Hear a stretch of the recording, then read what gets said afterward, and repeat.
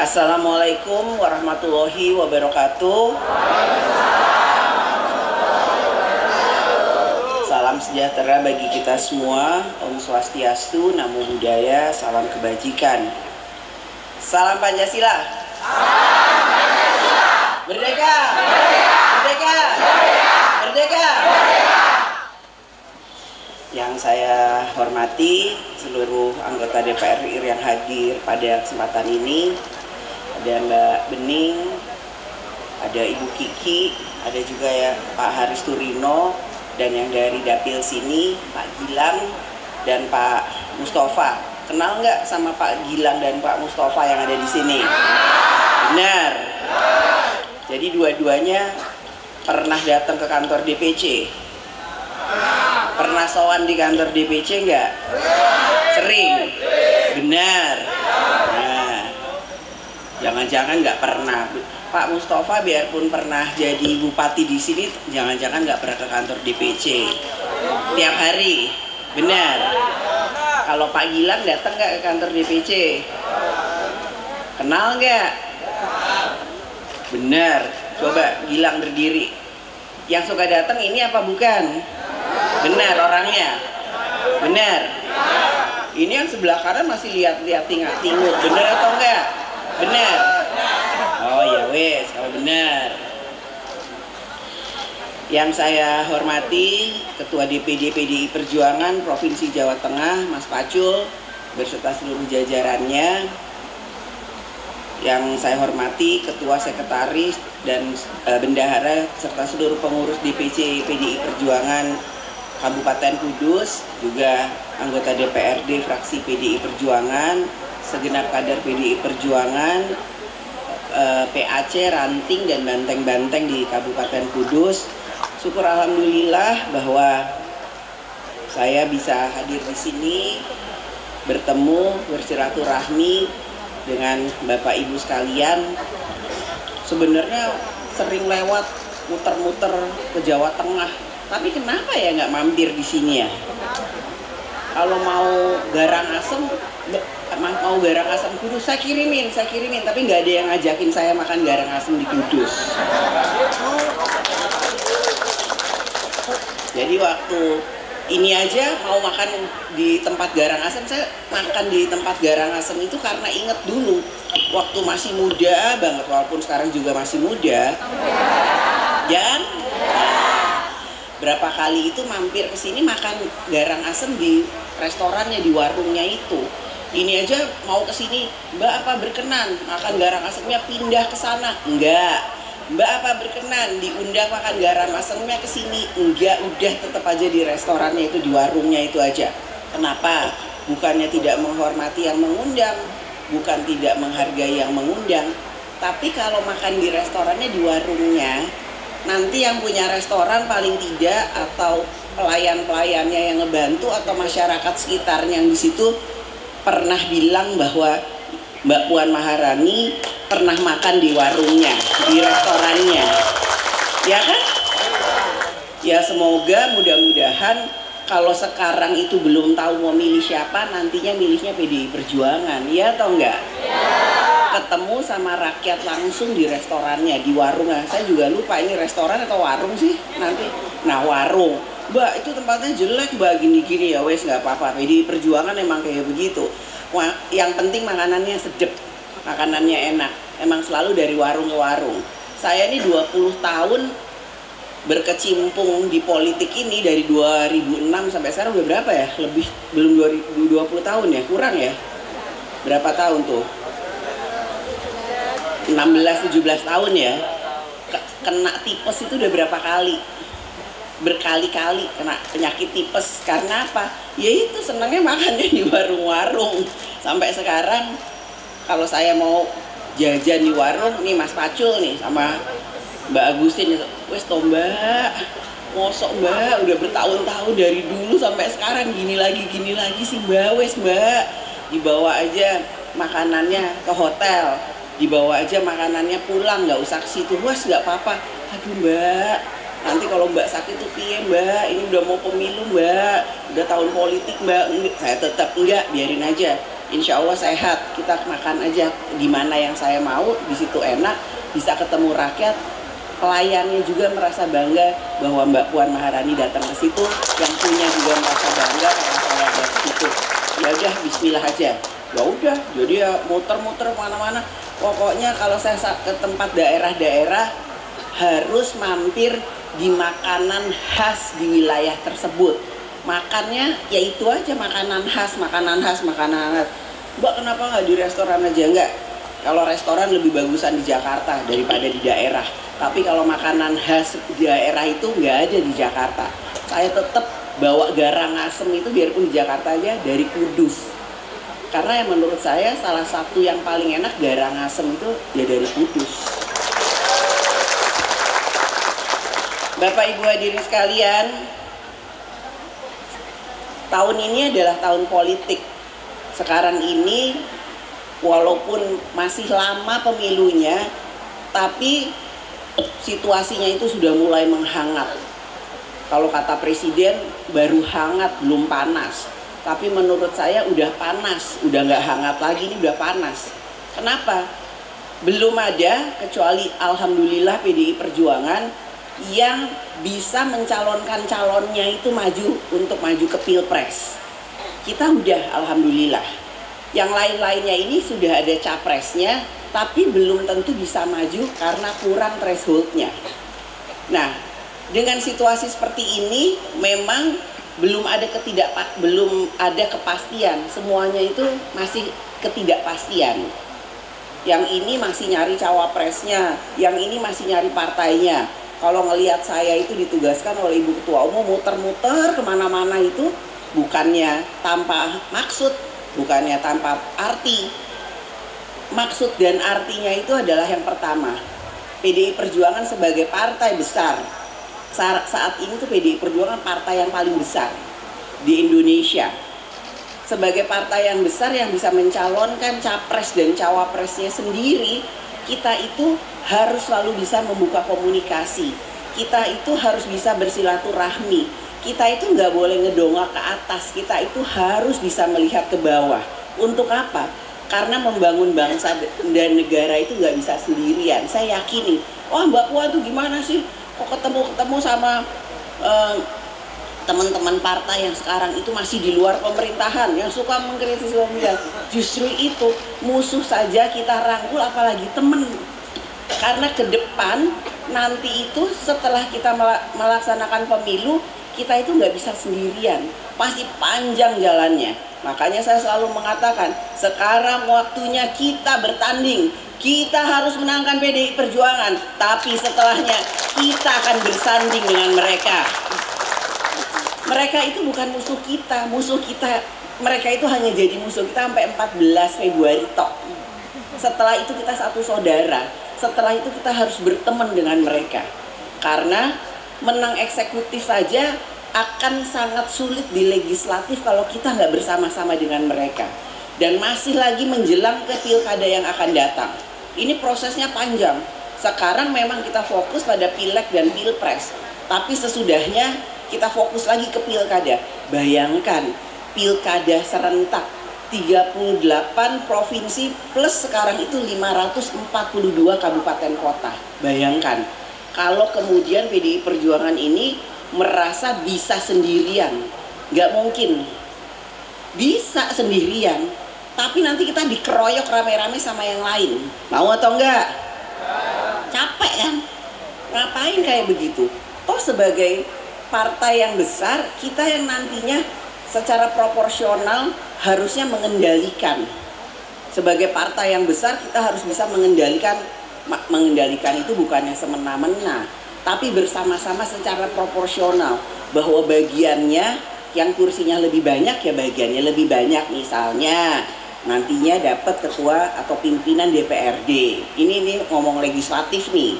Pimpinan-pimpinan di komisi-komisi program-program secara proporsional kenapa itu menang harus menang ya karena itu itu yang kemudian bisa membuat kita dekat dengan rakyat berguna untuk rakyat, bisa mensejahterakan rakyat dan bisa membuat rakyat itu percaya bahwa pilihannya itu nggak salah. pilihannya itu adalah PDI Perjuangan. Sehingga di tahun 2029 nanti kita nggak capek lagi untuk bisa mengulang mengulang lagi insya Allah kemenangan kita.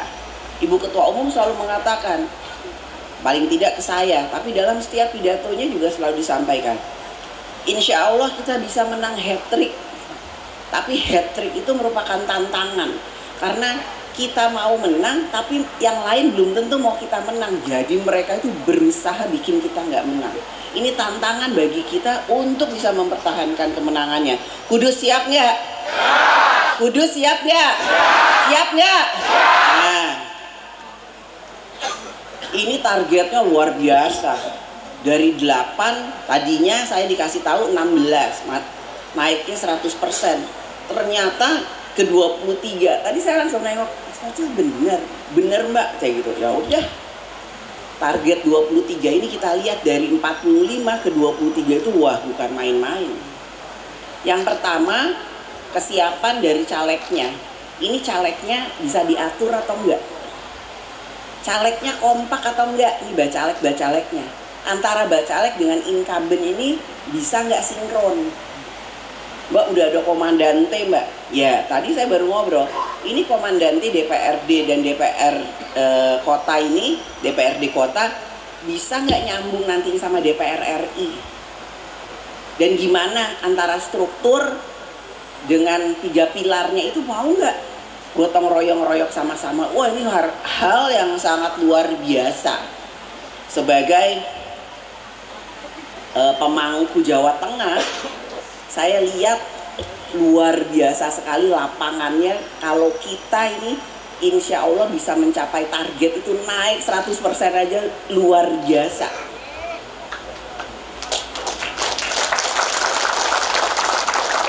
Namun saya meyakini kalau memang sudah ada target seperti itu pasti sudah ada kalkulasinya. Sudah ada hitung-hitungannya. Apa yang harus harus dilakukan, apa yang tidak boleh dilakukan, bagaimana melakukannya, apa saja petanya. Itu kalau sekarang bertempur itu nggak bisa cuma uculan gitu aja, bikin peta besar.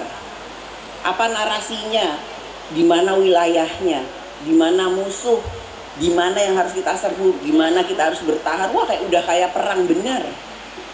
Ini harus kita persiapkan dengan matang dan bukan satu hal yang main-main untuk bisa melaksanakan hal tersebut. Ini peta Jawa Tengah sama nasional itu secara berkala sudah di kita bahas untuk kita lihat di mana saja petanya. Ini wilayahnya PDI Perjuangan, ini bukan wilayah PDI Perjuangan, berapa mata pilihnya, berapa penduduknya, apa yang harus dilakukan, yang nggak boleh dilakukan, capres kita ke mana, nanti cawapres kita ke mana, bacalek harus ngapain, kapan kita mulai timing pertempurannya, itu di di DPP partai dengan ibu ketua umum itu kita udah punya petanya.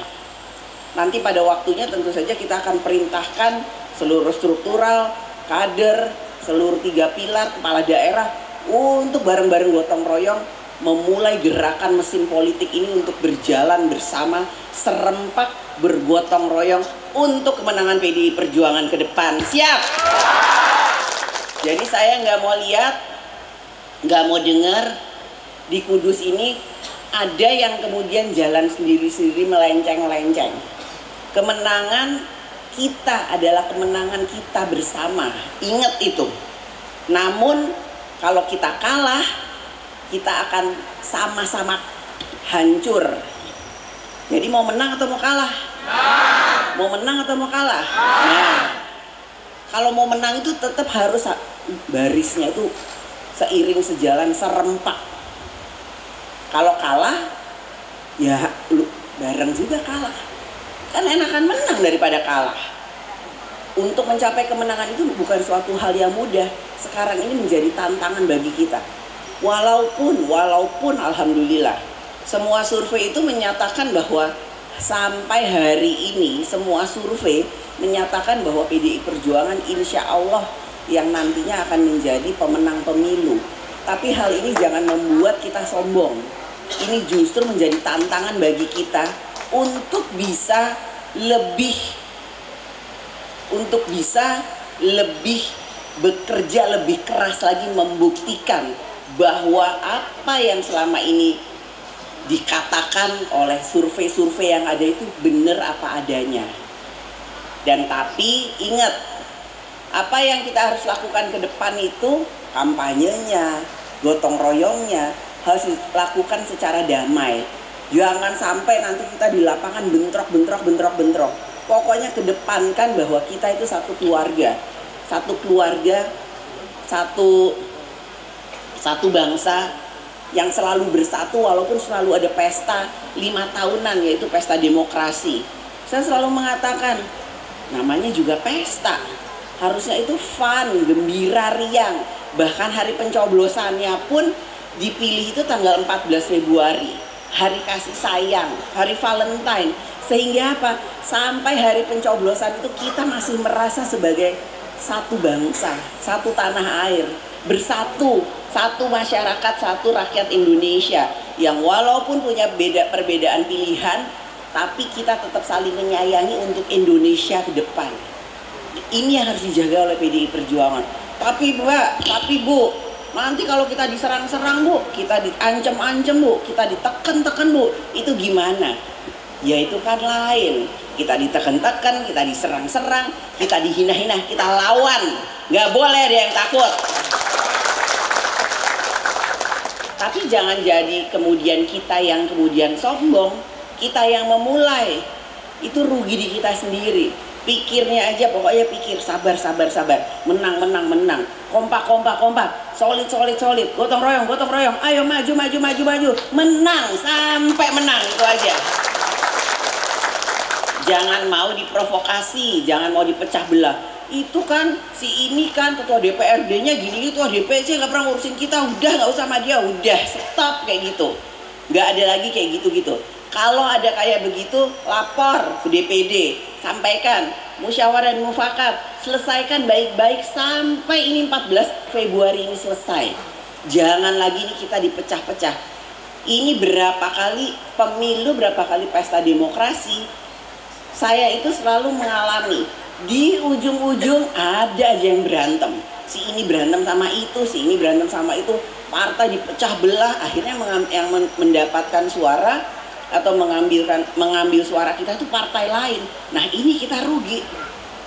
Lebih baik kita ambil dulu suaranya. Kita menangkan dulu suaranya. Kita jadikan dulu teman kita. Kita jadikan dulu keluarga kita saudara kita keluarga besar PDI Perjuangan sesuai targetnya. Dari 8 sampai 23 sampai hari pencoblosan tarik dan bagaimana caranya menarik simpati masyarakat sehingga mereka itu benar-benar mau milih kita. Bisa? Bisa, siap? Nah kemudian selanjutnya mbak ini gimana mbak kampanyenya mbak? Dari daftar penjadwalan pilek pilpres ke depan itu ini kan kita sudah mulai pengajuan persyaratan bakal calon bener nggak nih mbak? Saya tetap nih calonnya. Bener nggak? Nanti saya jadi bacalek jangan-jangan saya nggak ada namanya. Jangan saya, dipindah dapil. Kan nanti itu tanggal 6 Agustus itu sampai 11 Agustus mulai ada pencermatan rancangan daftar calon sementara DCS ini udah bentar lagi nih. Ini saya udah dikejar-kejar nih sama DPP nih. Saya udah diminta sama ibu ketua umum ayo puan coba itu pencermatan itu dilihat lagi nih nama-nama bakal calon bakal calonnya itu udah tidak ada punya masalah hukum tidak bermasalah pidana ataupun perdata tidak ter, tidak dalam sengketa internal keluarga atau kemudian rebutan-rebutan harta warisan atau berantem antara istri satu, istri dua dan lain-lain sebagainya. Karena apa? Begitu namanya masuk, kemudian dikeluarin itu nggak bisa masuk lagi. Begitu juga kemudian kalau punya masalah-masalah internal atau eksternal, itu pasti dicoret sama KPU atau KPU akan mengusulkan kepada kita kepada DPP partai untuk bisa mengganti nama tersebut. Jadi coba ini mawas diri nih. Siapa yang merasa punya masalah, sampaikan ke uh, DPC partainya, DPC Kudus. Saya sepertinya punya masalah ini, ini, ini, ini. Bagaimana penyelesaiannya? Apakah ini boleh di KPU atau tidak boleh di KPU? Karena kalau nanti diumumkan, pertama malu, yang kedua tetap aja dicoret. Jadi jangan cari-cari masalah sampai nanti tanggal 14 Februari selesaikan semua permasalahan itu secara musyawarah dan mufakat. Kalau nggak tahu caranya ngobrol ngobrol sama sama ketua DPC atau struktur DPC kalau nggak bisa ngobrol struktur DPC ngobrol sama struktur DPD yang ada di Jawa Tengah. Karena sayang saya udah lihat nama-namanya. Dan kemudian ketua DPC ketua DPD menjamin bahwa nama-nama tersebut tidak bermasalah. Tapi kalau kemudian ada yang melaporkan, masyarakat melaporkan dan ditelusuri bermasalah ya harus kita coret. Karena kalau enggak nggak bisa diganti lagi nama tersebut kalau kemudian nanti udah keluar DCS-nya sampai menuju DCT. Nah ini tolong struktur DPC dan DPD untuk mencermati berapa ini Jawa Tengah 35 kabupaten kota ya Mas? 35 kabupaten kota jangan ada yang mempunyai masalah hukum, juga sengketa internal, laporan-laporan dari internal keluarga yang rebutan warisan lah, rebutan harta, rebutan ini, rebutan itu, itu segala macam, itu jadi masalah. Nah, setelah itu tanggal 23 Agustus 19 sampai 23 Agustus pengumuman DCS bulan depan nih pengumuman DCS. Setelah DCS keluar, diverifikasi, nanti pengumuman DCT-nya itu tanggal 4 November. Setelah DCS keluar, bulan Oktober itu kita sekalian akan mendaftarkan calon presiden dan calon wakil presiden sekalian. Di situ saya minta kita akan serempak bergerak. Mesin partainya udah mulai dihangatkan, dipanaskan, semuanya sudah harus sosialisasi dengan memasang logistik masing-masing di seluruh Jawa Tengah bukan hanya Kudus. Di semua DPC di semua wilayah yang ada di Jawa Tengah ini kita mulai merahkan Jawa Tengah. Sekarang kan orang mengatakan ini kok nggak ada geliatnya ya Jawa Tengah? Sabar. Kita tuh mainnya maraton. Ini masih bulan Juli Bayangkan Agustus, September, Oktober, November, Desember, Januari, Februari masih tujuh bulan, masih lama. Sekarang kita konsolidasi internal, internal, internal, solid, solid, solid, solid, solid, kompak, kompak, kompak, kompak. Kemudian rangkul nih semua teman-teman yang ada nih. Semuanya pasti punya punya kepentingan yang sama-sama kita, tapi kita rangkul, jangan kita musuhi. Semua partai kita rangkul, organisasi-organisasi kita rangkul, semua uh, mas apa eh, eh, hal-hal atau orang-orang masyarakat yang kemudian kita anggap bisa membantu kita, memilih kita, kita rangkul, kita rangkul. Semuanya ini incumbent turun ke lapangan, turun ke lapangan. Ini saya baru di, diceritain ibu-ibu senam si cita ini aktif banget katanya senam-senam ke mana? Senam cinta apa? Tanah air. Padahal gerakannya susah ya. Iya kan? Terus bisa diulang-ulang berapa kali sampai merobios keringetan. Saya udah berapa kali ke senam Cita wah gayanya itu susah banget ya buat, buat saya. Tapi emang gayanya itu yang bikin sehat. Dan waktu itu ketua DPD Mas Pacu punya target berapa Mas? Senam Cita kita nih Jawa Tengah. 120 ribu dan anak-anak muda umur piro Mas 17 sampai 45 jadi Mbak Puan udah gak termasuk senam si Cita. Udah lewat dari 45 harusnya anak-anak muda tapi ya nggak apa-apa. Yang di atas 45 juga ikut aja. Nah kita sudah memahami. Kita sudah tahu kemarin yang ikut datang ke GBK siapa angkat tangan. Nah, ini yang ikut ke GBK dengar pidato saya nggak? Ikut dengar pidato saya? Nah kita semua sudah diinstruksikan oleh Ketua Umum Ibu Megawati Soekarno Putri bahwa harus memenangkan calon presiden kita Pak Ganjar plus harus memenangkan partai kita PDI Perjuangan pada tahun 2024. Artinya kita semua nantinya akan sama-sama memenangkan pileg dan pilpres ini bersama-sama. Saya akan minta Jawa Tengah itu nantinya pasang foto capres, cawapres plus muka kita di setiap gambar sosialisasi. Di, ini inget nih, capres, cawapres muka kita dalam pemasangan semua hal yang bersifat sosialisasi. Karena menurut saya itu akan sangat sangat efisien dan intensif. Kalau kita masangnya itu memenangkan pileg, pi, pileg, pilpres dan diri kita. Dan itu kita akan pasang serempak Jawa Tengah bukan hanya di Kudus, sehingga nanti Jawa Tengah merah. Pasti itu ditempel sama semua partai itu. Kita pasang di sini partai yang lain nempel nempel nempel nempel nempel nempel. Tapi kita ini banyak jadi pasti lebih kelihatan merahnya. Kalau kita itu kompak dan serempak dalam bergotong royong. Siap ya jadi kalau kemudian ini kapan sih ini kapan sih? Tapi kalau sekarang kemudian kan ada instruksi yang mengatakan di semua rumah pribadi struktur partai dan kader PDI Perjuangan pasang bendera itu boleh. Tapi kalau sosialisasi ke depan memang masih belum diperbolehkan. Tapi nanti kita pasangnya serempak. Ya mbak karena kan saya mau pasang muka saya juga mbak. Karena kan saya bacalek mosok nggak boleh pasang muka kita bener gak iya kan? Ayo ini semua ngangguk-ngangguk. Mosok kita pasangnya bu bukan nggak ada foto kita mbak. Makanya nanti saya kasih ini dari DPD partai itunya apa namanya bentuknya. Bentuk gambarnya itu masangnya itu seperti apa biar seragam. Jadi jangan ada yang kitanya lebih besar banget sampai capres sama cawapres cilik banget. Atau capres cawapresnya besar banget kita ini banget ya nggak ada yang milih kita lah. Iya kan? Yang seimbang gitu loh. Semuanya dipilih gitu. Kan itu kan apa namanya itu fair tuh apa ya? Adil kan? Iya.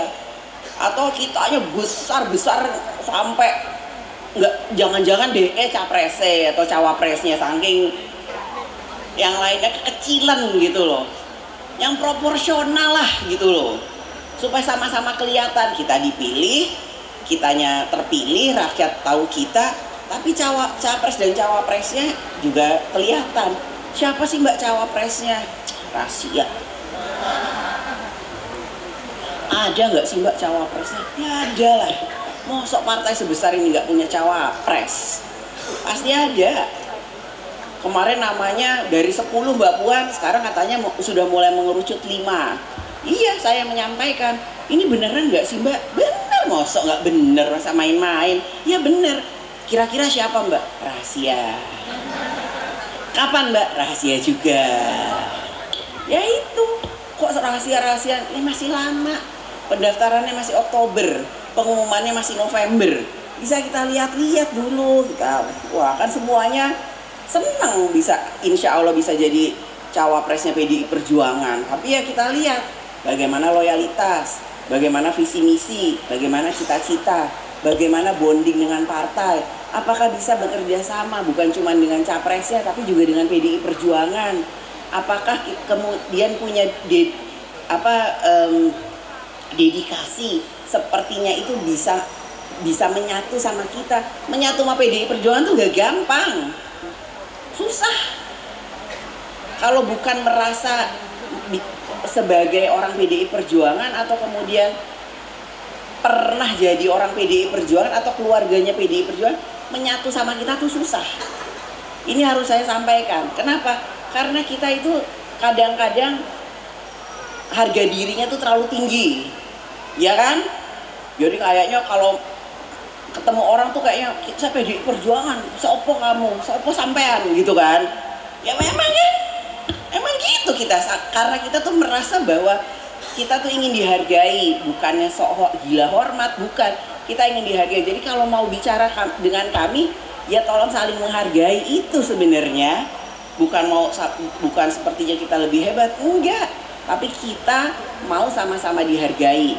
Kemudian untuk mencapai ke sini ini sebagai partai pemenang pemilu ini gak gampang. Jadi kita merasa wah wes berkorban banyak. Lahir batin udah mengeluarkan energi berjuang bertahun-tahun pas, sampai posisi ini. Ya saya juga ingin dong merasa dihargai. Mosok kamu yang merasa merasa lebih mau dihargai dari kita. Ya itu saya juga ikut merasakan itu. 10 tahun di luar pemerintahan 10 tahun bisa ada di dalam pemerintahan. Jadi ke depan ini pasti kita punya perasaan insya Allah menang insya Allah menang insya Allah kan. Karena udah pernah merasakan gimana soronya 10 tahun di luar pemerintahan? Bukan karena kita itu nggak bisa punya bukannya kita nggak bukan karena kita nggak punya nggak bisa punya harta benda bukan. Tapi kita itu nggak bisa berbuat banyak untuk rakyat. Kita itu nggak bisa lebih dekat dengan rakyat. Kita itu nggak bisa merasa lebih berharga diri kita untuk rakyat itu yang saya rasakan dulu. Karena gerak gerak kita itu terbatas. Nah kalau sekarang itu kita tuh lebih enak pergi bertemu dengan rakyat karena apa bisa mendengar aspirasi rakyat dan kemudian kita bisa sampaikan ke eksekutif. Tolong bantu ini, tolong bantu ini. Dan secara berjenjang kita bisa saling membantu. Daerah, kepala daerahnya bisa ke pusat tolong bantuin ini ini. Oke kita bantuin di pusat pusat juga. Mbak tolongin dong di daerah nih bupatinya susah koordinasi. Koordi, bupati dipanggil kepala daerah dipanggil. Udah koordinasi yang penting daerahmu itu dapat program ini ini ini. Jadi kita lebih leluasa untuk bisa berbuat uh, untuk rakyat. Itu yang diharapkan kenapa kita insya Allah harus menang lagi. Tahun depan ini di bulan Februari dan hat trick tiga kali. Bapak Ibu hadirin sekalian saya meyakini bahwa apa yang kita lakukan ini dari kemarin sampai sekarang sampai ke depan insya Allah adalah semata-mata adalah untuk rakyat berjuang untuk rakyat untuk kesejahteraan rakyat dan bagaimana PDI Perjuangan nantinya tetap dihargai dihormati dipilih lagi oleh rakyat dan kita bisa menang pada Februari yang akan datang sehingga hat trick tiga kali. Dan ini setelah Kudus saya akan ke Pekalongan, ketemu juga dengan struktur partai yang ada di Pekalongan. Nanti secara berkala saya akan datang lagi ke kabupaten kota kabupaten kota yang lain. Yaitu untuk apa? Ya saya mau lihat Jawa Tengah ini harus kompak, konsolidasinya harus bisa terarah. Walaupun saya meyakini itu sudah dilakukan bertahun-tahun dari bertahun-tahun yang lalu. Target-target yang kemudian disampaikan, insya Allah harus bisa berhasil. Dan dan saya minta sudah berkali-kali pesta demokrasi, sudah berkali-kali pemilu, Jawa Tengah adalah pendulang suara terbanyak untuk pileg dan pilpres. Karenanya, insya Allah saya minta kembali 2024 Jawa Tengah kembali menjadi provinsi dengan suara terbanyak yang membuat PDI Perjuangan menang pileg dan pilpres lagi. Siap? Siap?